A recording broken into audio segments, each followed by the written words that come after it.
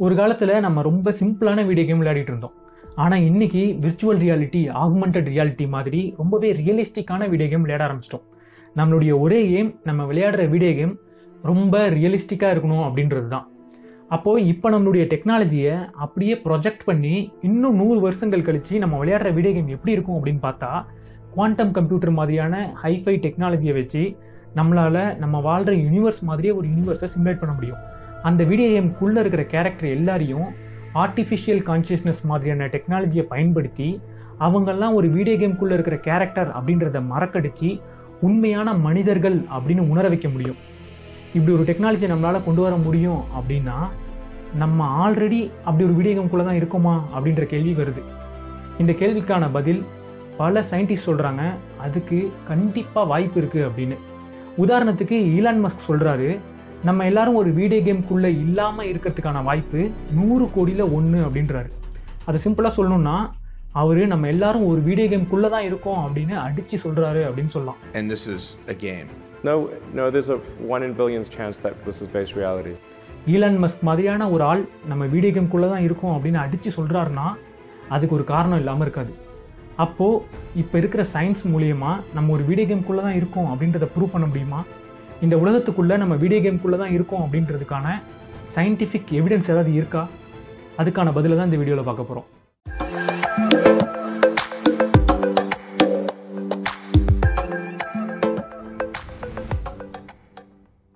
இப்போ நம்ம எல்லாரும் ஒரு வீடியோ கேம்குள்ளே தான் இருக்கோம் அப்படின்றத ப்ரூவ் பண்ணணும்னா நம்ம என்ன செய்யணும்?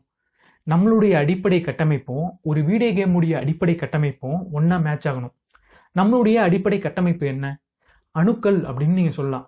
அந்த அணுக்களே குவாண்டம் பார்ட்டிக்கல் அப்படின்ற சின்ன சின்ன துகள்களால் தான் கட்டமைக்கப்பட்டிருக்கு. சயின்ஸ் என்ன சொல்லுது அப்படின்னா இந்த மாதிரியான குவாண்டம் பார்ட்டிகளுடைய ஃபிசிக்ஸும் நான் உட்காந்துருக்க சேர் இந்த பூமி மாதிரியான பெரிய பெரிய பார்ட்டிகளுடைய ஃபிசிக்ஸும் டோட்டலி டிஃப்ரென்ஸ் அப்படின்னு சொல்லுது. இப்போ குவாண்டம் ஃபிசிக்ஸுடைய அடிப்படையான ரெண்டு தத்துவத்தை எடுத்துக்கிட்டோம்னா அதில் முதல் தத்துவம் குவாண்டம் இன்டிட்டர்மினன்சி அப்படின்னா என்ன? நமக்கு புரியுற மாதிரி சொல்லணும்னா உங்களுடைய நண்பர் தான் குவாண்டம் பார்ட்டிகள். அவரை நீங்கள் ஒரு தேட்டருக்குள்ளே அனுப்புறீங்க. அந்த தேட்டரில் ஆயிரம் சீட் இருக்குது நீ உள்ளே போய் ஏதாவது ஒரு சீட்டில் உட்காந்துக்கோ அப்படின்னு அவர்கிட்ட சொல்கிறீங்க அவர் உள்ளே போய் உட்காந்ததுக்கப்புறம் நீங்கள் கையில் ஒரு டார்ச் லைட் எடுத்துகிட்டு உள்ளே போகிறீங்க நீங்கள் போய் ஏதாவது ஒரு சீட்டில் லைட் அடிக்கணும். அந்த சீட்டில் அவர் உட்காந்துருந்தாருன்னா நீங்கள் வின் நீங்கள் முதல்ல உள்ளே போகிறீங்க பத்தாம் நம்பர் சீட்டில் லைட் அடிக்கிறீங்க. அந்த சீட்டில் அவர் உட்காந்துருக்காரு திரும்ப வெளியே வந்து உள்ளே போய் நாற்பத்தெட்டில் அடிக்கிறீங்க. அதில் உட்காந்துருக்காரு திரும்ப தொள்ளாயிரத்தி எழுபத்தெட்டில் அடிக்கிறீங்க. அதுலேயும் அவர் உட்காந்துருக்காரு இப்படி ஆயிரம் தடவை நீங்கள் செய்றீங்க.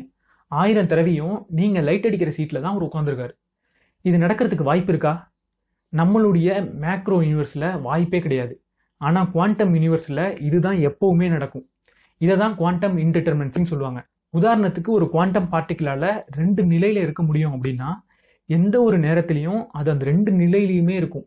இதுக்கு பேர் குவாண்டம் ப்ராபபிலிட்டி வேவ் எப்போ ஒரு அப்சர்வர் அதை பார்க்குறானோ அப்போ அந்த ப்ராபபிலிட்டி வேவ் உடஞ்சி ரெண்டுத்துல ஏதாவது ஒரு நிலையை எடுத்துக்கும். உங்களுடைய கதைப்படி உங்களுடைய குவாண்டம் பார்ட்டிக்கல் ஆயிரம் நிலையில் இருக்க முடியும். அது எந்த ஒரு நேரத்துலையும் அந்த ஆயிரம் நிலையிலையும் இருந்தது. எப்போ நீங்கள் லைட் அடித்து பார்த்தீங்களோ அப்போது அது ஒரு நிலையை சூஸ் பண்ணிக்கிட்டு. இது ஏன் இப்படி நடக்குது? ஃபிசிக்ஸால் இதுக்கான பதிலை சொல்லவே முடியல. ஆனால் இதை ஒரு வீடியோ கேமுடைய அடிப்படை கட்டமைப்போட கம்பேர் பண்ணி பார்த்தோன்னா நமக்கான பதில் கிடைக்கும்.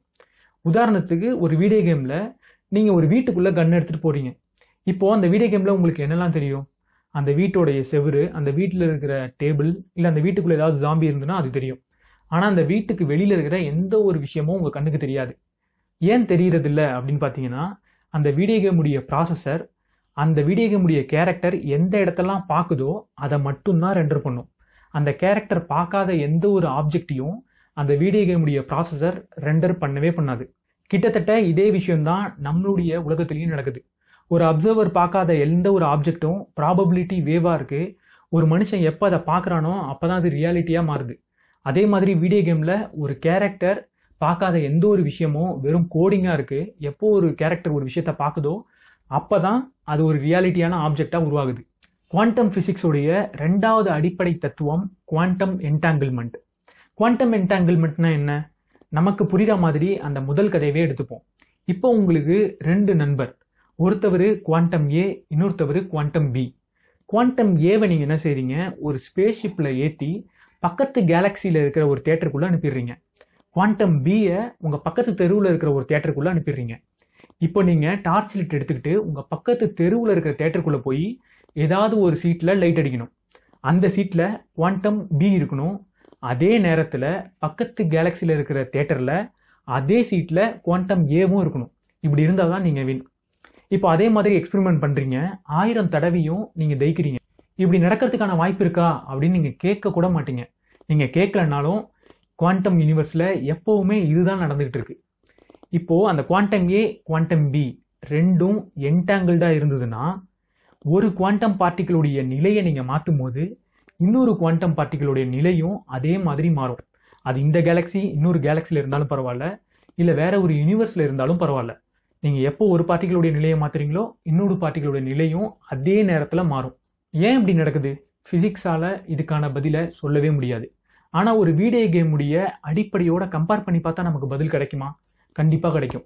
உதாரணத்துக்கு ஒரு வீடியோ கேமில் ஒரு இமேஜை நீங்கள் ரெண்டர் பண்ணுறீங்க ஒரு இமேஜ் ஒரு ஸ்க்ரீனில் எப்படி ரெண்டர் ஆகுது? உங்கள் ஸ்க்ரீனில் ஏகப்பட்ட சின்ன சின்ன புள்ளி இருக்கும். ஒவ்வொரு புள்ளிக்கும் உங்களுடைய ப்ராசஸர் ஒரு கலரை சொல்லும். அது ஒரு ஒரு புள்ளிக்கும் ஒரு கலர் சொல்லி அந்த புள்ளி அந்த கலரில் மாறும்போது உங்களுக்கு டோட்டலாக ஒரு இமேஜ் தெரியும். உதாரணத்துக்கு ஒரு நைட் ஸ்கையை நீங்கள் ரெண்டர் பண்ணுறீங்க அந்த ஸ்கையோட சென்டரில் நிலா இருக்குது இப்போ சாம்பிளுக்கு மூணே மூணு பிக்சலை நம்ம எடுத்துப்போம். உங்களுடைய லெஃப்ட் சைடில் இருக்கிற ஒரு பிக்சல் ஏ அந்த நிலாவோட சென்டரில் இருக்கிறது பிக்சல் பி இப்போ ரைட் ஓரத்தில் இருக்கிறது பிக்சல் சி இப்போ நீங்கள் இதோட கலரை டிஃபைன் பண்ணோம் அப்படின்னா எப்படி சொல்லுவீங்க? Pixel A equal to black pixel B equal to yellow pixel C equal to black ஆனால் ஒரு ப்ராசஸர் இப்படி சொன்னதுன்னா அதுக்கு ரொம்ப டைம் எடுக்கும். அதனால் அது எப்படி சொல்லும் அப்படின்னு பார்த்தீங்கன்னா pixel A and C equal to black pixel B equal to yellow அப்படின்னு சொல்லிடும். இப்போ யாராவது ஒரு ஆள் பிக்சல் சியோட கலரை ஒயிட்டாக மாற்றணும் அப்படின்னு நினச்சாங்கன்னா பிக்சல் ஏவோட கலரும் ஆட்டோமேட்டிக்காக மாறும். ஏன்னா நம்மளுடைய ப்ராசஸர் பிக்சல் ஏவியும் சியும் ஒன்னோடு ஒன்று கனெக்ட் பண்ணியிருக்கு. நம்மளுடைய லாங்குவேஜில் சொல்லணும்னா என்டாங்கிள் பண்ணியிருக்கு. பிக்சலை பற்றி நம்ம பேசினதுனால பிளாங்க் லென்த் அப்படின்ற ஃபிசிக்ஸில் இருக்கிற ஒரு கான்செப்டை பற்றி பேசியாகணும். பிளாங்க் லென்த்னா என்ன? நமக்கு புரித மாதிரி சொல்லணும்னா நம்மளுடைய ரூம்குள்ளே ஒரு பெரிய பாக்ஸை நம்ம வைக்கிறோம். எவ்வளோ பெரிய பாக்ஸை நம்மளால் நம்ம ரூம்குள்ளே வைக்க முடியும்? நம்ம ரூமை விட பெருசாக இருந்ததுன்னா அதை நம்ம ரூம்குள்ளே வைக்க முடியாது. இது நம்ம எல்லாருக்குமே புரியும். ஆனால் பிளாங்க் என்ன சொல்கிறாரு அப்படின்னா பிளாங்க் லென்த்தை விட சின்னதாக ஒரு பாக்ஸ் இருக்குன்னா அந்த பாக்ஸை உங்களால் உங்கள் ரூமில் வைக்க முடியாது அப்படின்னு சொல்கிறாரு பிளாங்க் லென்த் அப்படின்னா என்னன்னு பார்த்தீங்கன்னா இந்த யூனிவர்ஸில் இருக்க முடிஞ்ச மிக சிறிய லென்த் அதை விட சின்ன லென்த் இந்த யூனிவர்ஸ்க்குள்ளே இருக்கவே முடியாது அப்படின்னு பிளாங்க் சொல்கிறாரு இது ஏன் அப்படின்னு ஃபிசிக்ஸால் சரியாக பதில் சொல்ல முடியல. ஆனால் ஒரு வீடியோ கேமோட ஒப்பிட்டு பார்த்தோம்னா இதுக்கான பதில் நமக்கு கிடைக்குது. ஒரு வீடியோ கேமில் நம்ம ஒரு சின்ன லென்த்தை வரையணும் அப்படின்னு வச்சுப்போம். எவ்வளவு சிறிய லென்த்தை நம்மளால் வரைய முடியும்? ஒரு பிக்சல் அளவுக்கு வரைய முடியும். ஒரு பிக்சலை விட சின்னதாக ஒரு லென்த்தை நம்மளால் வரையவே முடியாது. உதாரணத்துக்கு நம்மளுடைய போன எக்ஸாம்பிள் எடுத்துக்கிட்டோம்னா ஒரு பிக்சல் ஒன்று பிளாக்காக இருக்கலாம் இல்லை ஒயிட்டாக இருக்கலாம். பாதி பிளாக் பாதி ஒயிட் அப்படின்னு சொன்னீங்கன்னா உங்களுடைய வீடியோ கேமில் அப்படி ஒரு விஷயம் ரெண்டர் ஆகவே முடியாது. வீடியோ கேமில் நம்ம பிக்சல் அப்படின்னு சொல்கிறோம் ஆனால் நம்மளுடைய உலகத்தில் பிளாங்க் லென்த் அப்படின்னு சொல்கிறோம் கிட்டத்தட்ட இது ரெண்டுமே ஒரே விஷயம் மாதிரி தான் தெரியுது. நம்ம பிளாங்க் லென்த் அப்படின்ற கான்செப்டை பற்றி பேசுனதுனால பிளாங்க் டைம் அப்படின்ற கான்செப்டை பற்றியும் பேசியாகணும். பிளாங்க் டைம்னா என்ன? நமக்கு புரியுற மாதிரி சொல்லணும்னா நம்ம எந்த ஒரு வேலையை செய்கிறதுக்கும் ஒரு டைம் எடுத்துக்கும். உதாரணத்துக்கு இந்த வீடியோக்கு கீழே நீங்கள் கமெண்ட் பண்ணணும்னா ஒரு ஐம்பது செகண்ட் எடுத்துக்கும். அதே சப்ஸ்கிரைப் பட்டனை ப்ரெஸ் பண்ணணும்னா ரெண்டு செகண்ட் தான் எடுக்கும். நம்ம செய்கிற வேலை எவ்வளவு சின்னதோ அதுக்கேற்ற மாதிரி கம்மியான டைம் எடுக்கும். ஆனால் பிளாங்க் என்ன சொல்கிறாருன்னா நீங்கள் எவ்வளவு சின்ன வேலையை வேணால் செய்யுங்க. ஆனால் உங்களால் பிளாங்க் டைம் அப்படின்ற கான்ஸ்டண்ட்டை விட கம்மியான நேரத்தில் ஒரு வேலையை செய்யவே முடியாது அப்படின்றாரு. ஏன்? இந்த யூனிவர்ஸில் பிளாங்க் டைமை விட சின்ன டைமே கிடையாது அப்படின்றாரு. இது ஏன் இப்படி இருக்குது அப்படின்னு நம்ம ஃபிசிக்ஸ்கிட்ட கேட்காம டைரெக்டாக வீடியோ கேம்கிட்டே கேட்டுருவோம். ஒரு வீடியோ கேமில் நீங்கள் டைமை கவுண்ட் பண்ணணும்னு வச்சுப்போம். உதாரணத்துக்கு ஒன் செகண்ட் டூ செகண்ட்னு ஒரு கிளாக் மட்டும்தான் ஒரு வீடியோ கேமில் ஓடுது. எவ்வளவு சிறிய டைமை அந்த வீடியோ கேமால் கவுண்ட் பண்ண முடியும்? இதுக்கான பதிலை ஒரு ப்ராசஸருடைய கிளாக் ஸ்பீடை பார்த்து நம்ம தெரிஞ்சுக்கலாம். நம்ம ஃபோனில் கூட one giga hertz two giga ஹெட்ஸ்லாம் ப்ராசஸரோட கிளாக் ஸ்பீடு வரும் கிளாக் ஸ்பீட்னா என்ன? உதாரணத்துக்கு ஒரு ப்ராசஸருடைய கிளாக் ஸ்பீட் ஃபைவ் அப்படின்னா அந்த ப்ராசஸரால் ஒரு செகண்டுக்குள்ளே அஞ்சு வேலைகளை செய்ய முடியும். அப்போ அந்த ப்ராசஸரால் கவுண்ட் பண்ண முடிஞ்ச மினிமம் டைம் ஒரு செகண்டில் அஞ்சில் ஒரு பங்கு தான். இப்போ இதுவே அந்த கிளாக் ஸ்பீட் பத்தாக இருந்ததுன்னா ஒரு செகண்டில் பத்தில் ஒரு பங்கு அதால் கவுண்ட் பண்ண முடியும். இப்போ நம்மளுடைய யூனிவர்ஸும் ஒரு ப்ராசஸரில் ரன் ஆகிட்டு இருந்ததுன்னா அந்த ப்ராசஸருடைய கிளாக் ஸ்பீடை பொறுத்து இந்த யூனிவர்ஸ்க்குள்ள மினிமம் கவுண்டபிள் டைம் அப்படின்ற ஒரு கான்ஸ்டன்ட் இருந்து தான் ஆகணும். நம்மள்ட்டையும் பிளாங்க் டைம் அப்படின்ற ஒரு கான்ஸ்டன்ட் இருக்க தான் செய்யுது. இப்படி சயின்ஸால பதில் சொல்ல முடியாத பல குழப்பங்களுக்கு சிமுலேஷன் ஹைபாத்திசிஸ் அப்படின்ற இந்த கான்செப்ட் பதில் சொல்லிக்கிட்டு தான் இருக்கு சயின்ஸால பதில் சொல்ல முடியாத மிகப்பெரிய குழப்பம் என்ன? கடவுள் இருக்காரா இல்லையா அப்படின்றது தான் ஒரு ரிலிஜியனை பொறுத்த வரைக்கும் கடவுள்னா யாரு? நம்ம எல்லாரையும் படைச்சி நம்மளை கண்ட்ரோல் பண்றவர் தான் கடவுள். அப்போ சிமுலேஷன் ஹைபாத்திசிஸ் பொறுத்த வரைக்கும் இந்த வீடியோ கேமை உருவாக்கி இப்போ நம்மளெல்லாம் வச்சு விளையாடிக்கிட்டு இருக்க ஏதோ ஒரு சின்ன பையன் தான் நம்மளுடைய கடவுள். இப்போ ரிலிஜனுக்குள்ளே வந்ததுனால கொஞ்சம் டீப்பாக பார்ப்போம். ஒரு ரிலிஜியனில் ரொம்ப முக்கியமான கான்செப்ட் மாயா அப்படின்றது. மாயானா என்ன? இப்போ நம்ம உலகத்தில் நடக்கிற எல்லாமே வெறும் பிம்பம் தான் எதுவுமே உண்மை இல்லை அப்படின்னு சொல்கிறது தான் அந்த கான்செப்ட் சிமுலேஷன் ஹைபாத்திசிஸ்லேயும் இது எதுவுமே உண்மை இல்லை ஒரு சிமுலேஷன் தான் அப்படின்னு சொல்கிறாங்க இது மட்டும் இல்லாமல் இந்த உலகமே கடவுளுடைய லீலை அப்படின்னு சொல்கிறாங்க அதை அப்படியே டிரான்ஸ்லேட் பண்ணோன்னா இது எல்லாமே கடவுளுடைய விளையாட்டு அப்படின்னு தான் பொருள். கிட்டத்தட்ட சிமுலேஷன் ஹைபாத்திசிஸ்லையும் யாரோ ஒரு ஆள் நம்மளை படைச்சி நம்மளை வச்சு கேம் விளையாடிட்டு இருக்காங்க அப்படின்னு தான் சொல்கிறாங்க இவ்வளவு ஏன் எல்லா ரிலிஜியன்லையும் சொல்லப்படுற ஒரு கான்செப்ட் நம்ம இறந்ததுக்கப்புறம் நம்ம செஞ்ச நல்லது கெட்டதை கம்பேர் பண்ணி பார்த்து நமக்கு நரகமோ சொர்க்கமோ இல்லை மறுபிறவியோ கொடுப்பாங்க அப்படின்றது தான். எல்லா வீடியோ கேம்லேயும் ஒரு பிளேயர் செத்து போயிட்டா அவன் பண்ண வேலையெல்லாம் கம்பேர் பண்ணி பார்த்து அவனுக்கு ஒரு ஸ்கோர் கொடுப்பாங்க. அந்த ஸ்கோரை பொறுத்து தான் அவன் அதுக்கப்புறம் அந்த வீடியோ கேமில் எப்படி விளையாட போகிறான் அப்படின்றது அமையுது. கிட்டத்தட்ட சிமுலேஷன் ஹைப்பாத்திசிஸ் அப்படின்ற இந்த கான்செப்ட் சயின்ஸ் மட்டும் இல்லாமல் ரிலிஜன் கூடயும் ஒத்து போகுது. ஒரு காலத்தில் நம்ம எல்லாரும் சூரியன் பூமியை சுற்றி வந்துகிட்டு இருக்கு அப்படின்னு நம்பணும் ஆனால் சயின்ஸ் எப்போ பூமி தான் சூரியனை சுற்றி வருது அப்படின்னு லாஜிக்கலாக எக்ஸ்பிளைன் பண்ணுதோ அப்போ அதை நம்ப ஆரம்பித்தோம் ஒரு காலத்தில் நம்ம எல்லாரும் நியூட்டனுடைய விதிகளை ஹண்ட்ரட் பர்சன்ட் சரின்னு நம்பிட்டு இருந்தோம்.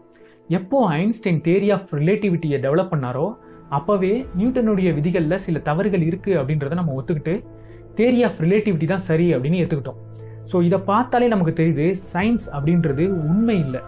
சயின்ஸ் அப்படின்றது இப்போ இருக்கிற யூனிவர்ஸை கரெக்டாக டிஃபைன் பண்ணுற ஒரு கான்செப்ட் தான். இதை விட பெட்டரான ஒரு கான்செப்ட் வந்தால் நம்மளை பொறுத்த வரைக்கும் அதுதான் உண்மை.